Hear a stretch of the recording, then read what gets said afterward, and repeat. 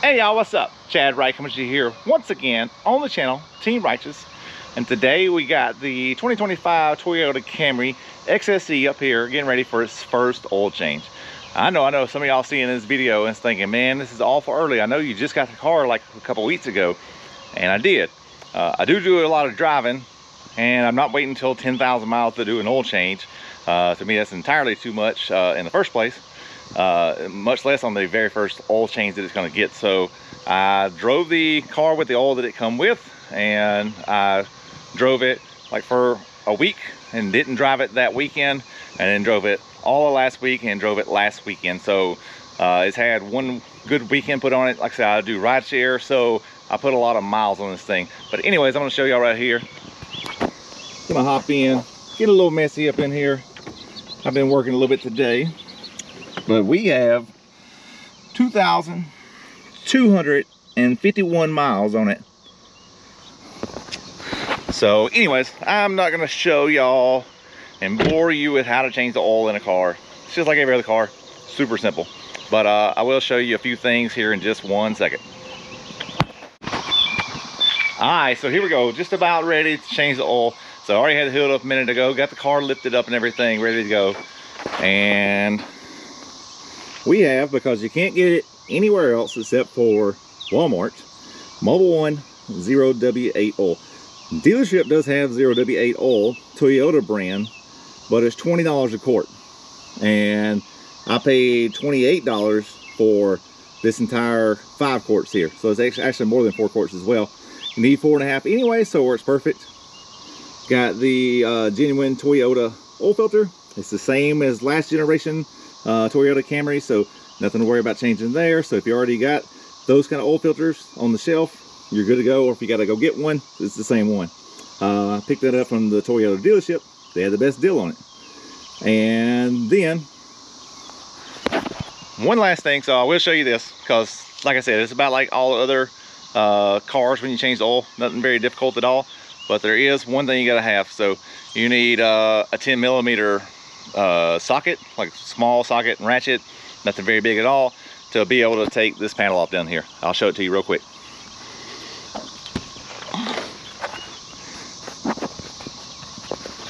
All right, so if you look, like right in here, this panel here is what's below the engine. So you pull these four screws out, and so they're 10 millimeter, and they hold uh, this panel here up, and then right above this whenever I get to it here in a minute it will have the drain pan or the oil pan like right here and it'll have uh, the oil filter will be somewhere up in here. So we'll have to get to it uh, get it off of there.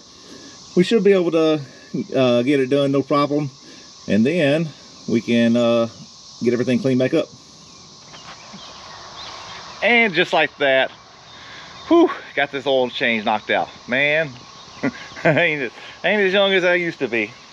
Uh, climbing around up under here. So this car here is pretty low. I've actually got a creeper down here uh, to try to get up under there and I'm not fitting up under there with the creeper. So uh, I got to get some uh, a different floor jack and jack stands to be able to raise the car up higher so I can get up under there with the creeper or just stay on the ground. It would be really nice if I had a lift. That would uh, come in handy. I got a motorcycle lift, but that ain't doing me no good. So anyways, got the uh, oil changed and drained. Uh, got our oil sample. I'm going to send it off for an analysis uh, to Blackstone Laboratories here. And uh, other than that, put the oil back in it, check the oil, everything is good, all the levels are good. It's good and full. So we're going to uh, send uh, send the oil off there to get an analysis on it. Make sure everything in there is looking good because, you know, if I, if I need to tell the dealer or whatever, hey, we need to start looking at this thing is already looking bad from the beginning. I'm glad we changed the oil as early as we did. You know, hopefully we don't have to run into that. Uh, I know some of y'all see me with a white hat on out here changing oil. This is my old hat, so it's a little dirty, but not near as bad as uh, not near as bad as it could be if I was uh, if I was out here, if I was in my new one or whatever, I'd probably be pretty upset if I forgot about it. But uh, anyways, so we're gonna get this right here sent off though here in just a minute.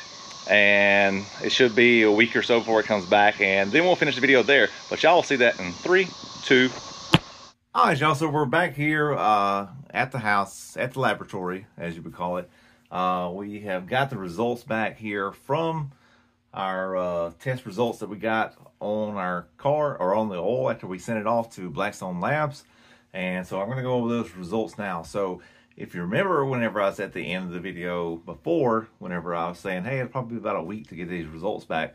Well, I was thinking it's going to be about a week to get the results back, but it took a little bit longer than that. Uh, took probably about three and a half weeks to get the results back. So, uh, anyways, uh, a little bit longer than what I was thinking it was going to be. And for most people, that probably wouldn't be a problem. The problem for me is, is I change my oil every three weeks. So, and even sooner as it's going on right now. So I contacted them the first time. I'm like, cool. I was like, I'm needing these results. What's going on? You know, I said, I'm already changing my oil again. And they're like, oh, well, uh, you know, sometimes it takes us about three weeks. We're getting pretty backed up. They got a lot of business. They are very popular. So anyways, that's what's going on there uh, with that. But um, like I said, I've got the results back from the first one. I've actually already sent it off for the second one. You'll see that in a later video. Um, but this right here is uh, the results we got from our first oil change. So I'm going to go over that right now.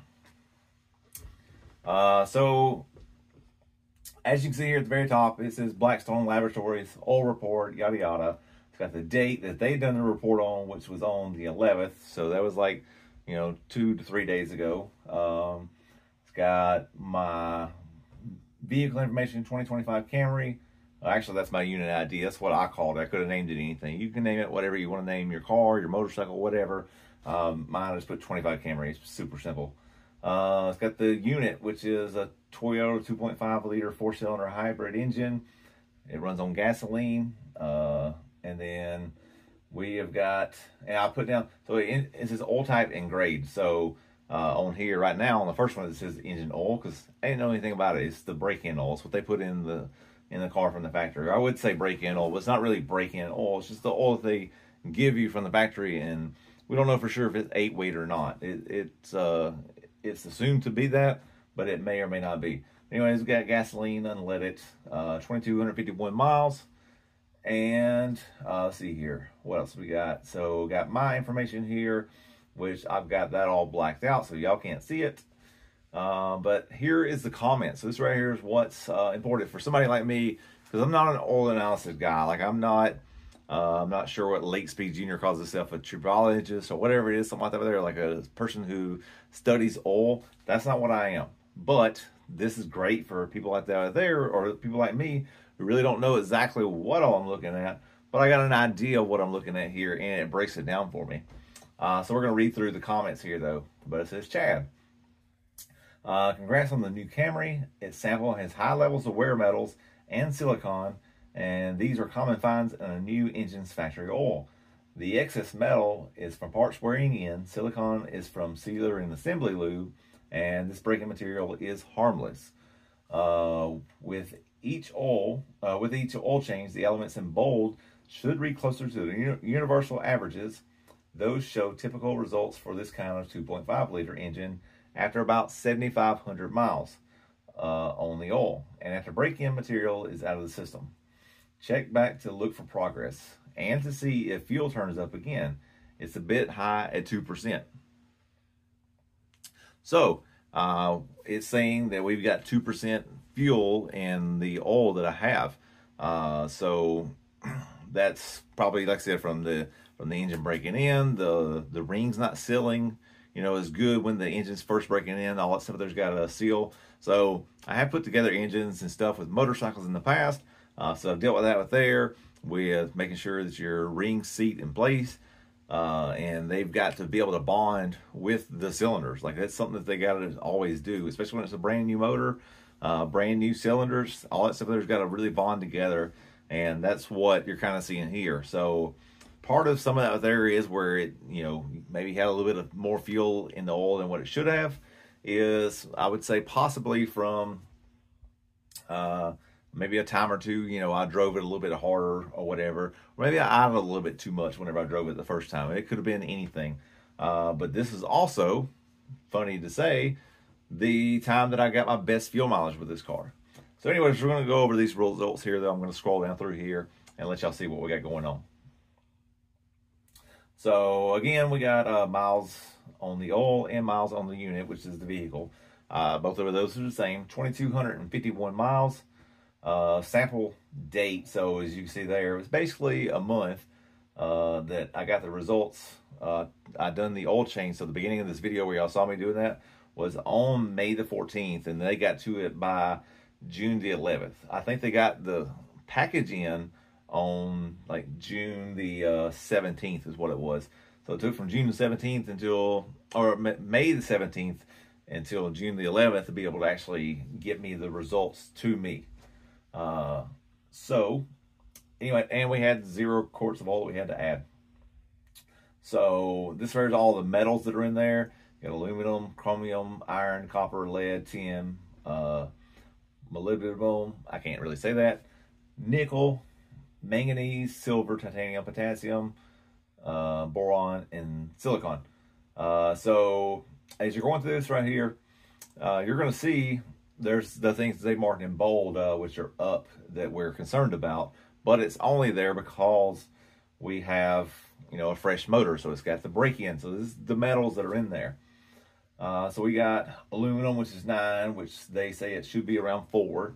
And these are parts per million. So we have nine parts per million uh, of aluminum versus the, I guess, millions of parts of oil that are in here. So uh, see here, iron is at 11, which should be around seven. So aluminum's up five. And let's see here, iron is up four. So iron is about 40% up. I'd say aluminum is about 55% up. Uh, copper Copper was way up, but you know that's from the break-in too.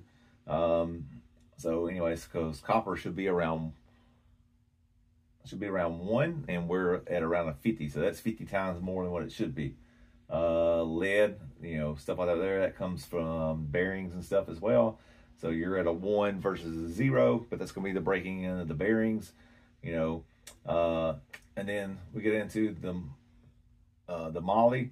You know, that comes from your rings and stuff and from other, other things, but you're supposed to be right around a 112 and we're at 682.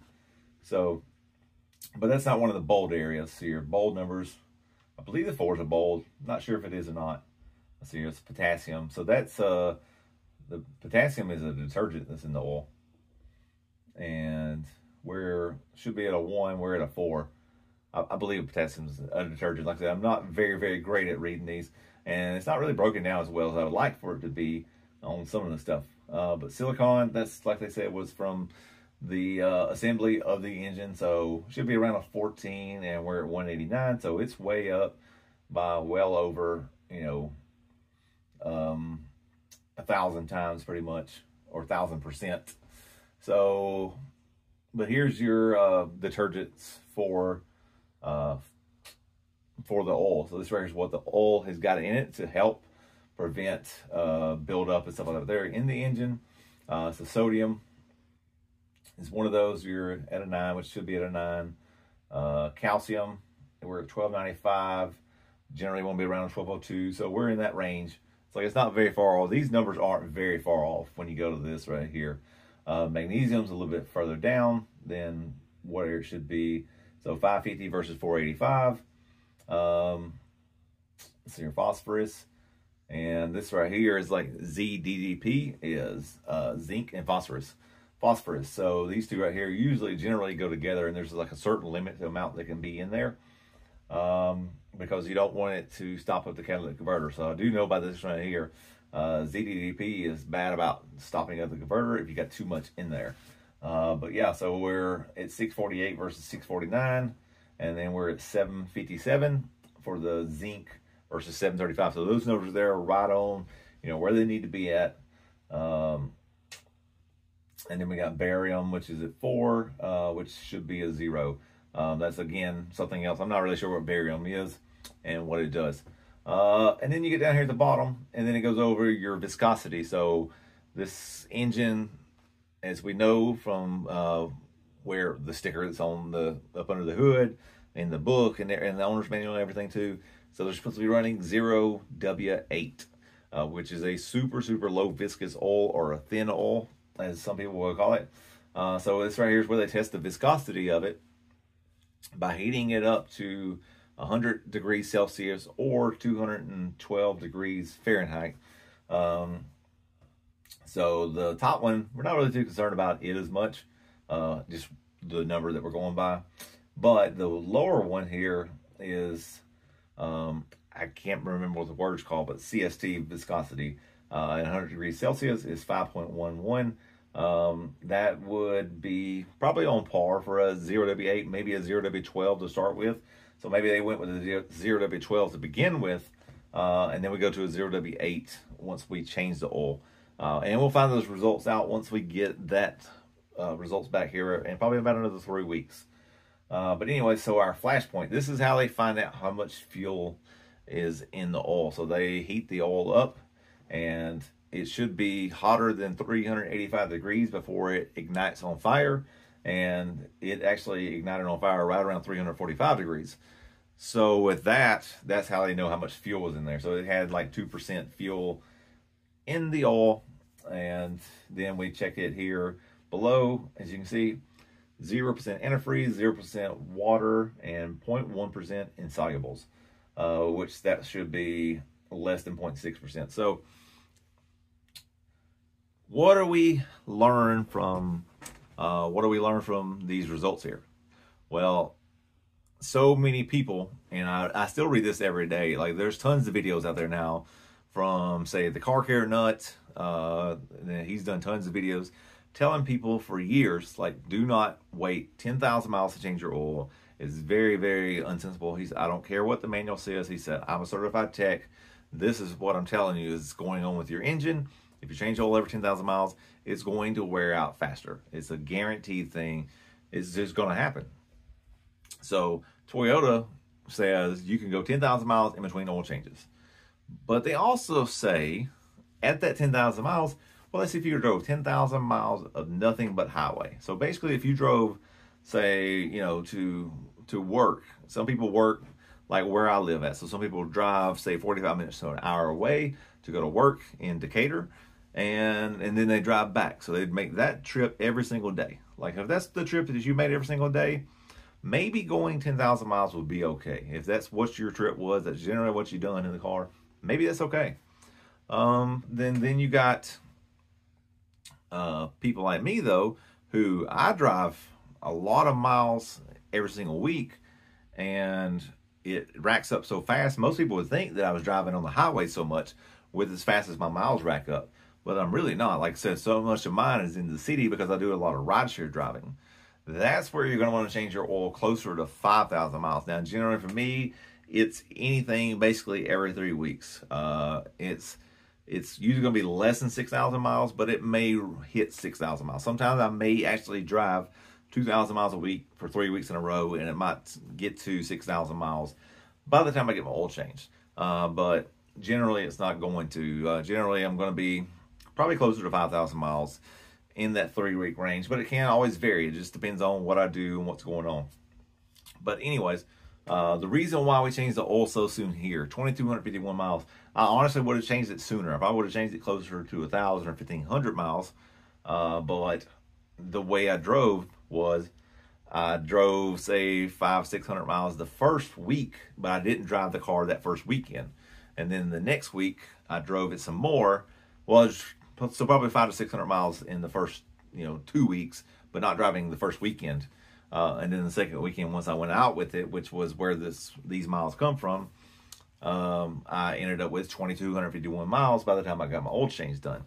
So that's the whole reason why I put as many miles I did on it then. And then the next oil change came up, which, like I said, that's in a later video. But I'm at 6,600 miles by the time I done the second oil change. So, so I put another 4,400 miles on that oil in two weeks. So it went from you know 2251 miles in like say you know two weeks of driving normal miles and stuff like that there and then one weekend and then the next one came two weeks later you know i put 4400 miles in two weeks so sometimes i can drive more than 2000 miles in a week it just kind of varies for me but anyways I wanted to get the metal out. Like I knew there's metal in this oil. Uh, and like I said, as you can see from the results, there's metal in the oil. So we want to get that out. Like there's so many people out there that are like, oh, well, if Toyota wanted you to change the oil that soon, then they would just do it. You know, they would, you know, offer you your first oil change at 3,000 miles instead of waiting 10,000 miles. Well, Toyota doesn't care, you know, like about that with there. They know it's going to get through the warranty time, and that's all they're concerned about. Like that's the what they're concerned about. Their bottom dollar is what they're concerned about. So the reason why they do 10,000 mile oil changes is because it makes the cost of ownership look like it's less whenever you have to change the oil, say in 100,000 miles, you feel like I changed the oil 10 times. Where, you know, a lot of people like me are going to change it 20 times. Or if some people like the old school way where it was every 3,000 miles, you would change it 33 times in that in that time. So that's what they're looking at is trying to make it appear that the cost of ownership is less. And yes, it's probably it's definitely going to make it through, you know, probably 30, 40,000 miles on those oil changes, doing it every 10,000. Probably going to make it past well past 100,000 miles, which is going to be well past the warranty warranty time. But that's when it's going to start to have more issues is later on down the line, because the more oil breaks down, the more it's fuel in the oil and and and other things or whatever. The more you drive it longer, and then you let that fuel sit, and when oil is sitting with fuel in it, that's when it breaks down the oil and makes it not do the job that it's meant to do. So anyways, I know this video is starting to go long now because I'm starting to explain a lot of things and going into a lot of stuff, but I just wanted the people to understand the reason why I and many other people that build engines and work on cars and work on motorcycles change oil very early on. On motorcycles, it was never even nowhere this long right here. It was 100 miles. Like, and maybe that there was a bit excessive, but you know, and we didn't do oil analysis and stuff like that there when we built engines on motorcycles, but we wanted to make sure that we got, uh, you know, we want to make sure that we got all that stuff there flushed out of there. Like I said, we built engines and stuff in house and everything, and then we would get it, run it, break it in, and as soon as it was broke in, you know, we would go through. We didn't even break it in like most people do cars and stuff or whatever. We would do ten heat cycles, and then that was it. Like it was broke in, and then it was on the dyno, and we would do, you know, whatever dyno tuning we had to do, tune the engine, get it ready to go, and then we would immediately change the oil, change the filter, fresh oil, fresh filter in there, it's good to go. And then we would tell them, hey, do a thousand miles, do one more oil change, and then you're back to normal. So it was even way more excessive than this right here was. But these right here were engines that we were building for people to go out there and beat the crap out of. It was race bike stuff. So it was probably a little bit more cautious on our end to make sure whatever we sent out, we was knew knew that it was going to be well taken care of and last them as long as it can for something that you're racing. This right here, this is something I know it's got to last for me for hundreds of thousands of miles. Like I plan to have this car for at least at least until I pay it off, and that's seven years and three months. So you know, it, it say if I drive ninety thousand miles a year at this rate right here, and and it could be more, of course. But generally, I'm gonna say I'm probably gonna take some weeks off and take some days off and stuff. But if I've done ninety thousand miles a year in seven years, that's six hundred and thirty thousand miles in seven years. So I want this engine to last at least that long. And I know Toyotas are known for that, and that's the reason why I got one. But they only do that when you really, really take care of them well. And that's what's super important. Is take care of the engine, take care of the transmission services when they need to be done, and stay on top of that stuff. Uh, and and the oil for these things right here really isn't that expensive, especially whenever you do it yourself. Um, so if you do your own oil changes, like the oil's like 27 bucks, filters another seven, so we're at 34 bucks, 35 bucks. So if you consider, you know, your time to do it or whatever, another 30 minutes, I mean, there's another, you know, 10 bucks or whatever, 20 bucks. I mean, so you're looking at 35, 40 bucks to do it. And if you was to take it to a Walmart or whatever, they'll do it for like 55 bucks. Like it's not very hard to do an oil change. Like as much as like Walmart's probably not the greatest place to work on your car at, they can change your oil. Just make sure they don't over tighten the filter and stuff in the plugs because they're bad about doing that sometimes. But anyways, I'm going to jump off of here. Don't want to keep this running too much longer. But I appreciate all y'all. Appreciate all the likes, all the subscribes that we've got. And if you can, please smash that like button hit the subscribe button. Uh, We are, as of right now, four. We are four um, subscribes away from hitting 2,000. So let me stop this video over here. It's been going in the background the whole time. Uh, but anyways, we are four uh, subscriptions away from hitting 2,000. So super proud moment. I remember it wasn't. It was a little over a year ago. It's probably man, probably a year and a half ago now. I want to say it was the end of 2022 uh, whenever I was hitting a thousand, and man, it was like it was something I was really looking forward to, and then just so much hit me with life and with what was going on the shop and the reason why we're not there anymore. Uh, and that was all kind of starting to build up like right after that. Like once we got to that moment, like it just got tough, and so a lot of my a lot of my content died away, and I'm not sure which really which way this channel is still going to go. I'm going to keep trying to you know bring this kind of information to you here, but we got some other plans too. I've been talking to some people about some things I want to do, so hopefully we can bring that to you as well. But anyways, we're going to jump off of here. Appreciate all y'all. Thanks for subscribing to the channel. Hope y'all kind of like the background we got going on here. Hope you like this kind of information that we're bringing to you. Uh, definitely looking to bring some more to you uh, in the future from the next oil change, which has already been done. I'm looking to do the third one coming up next week.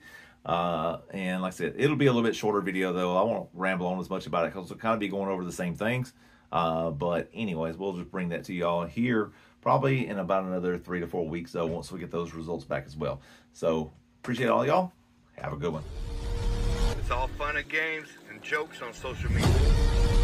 But this shit is dangerous.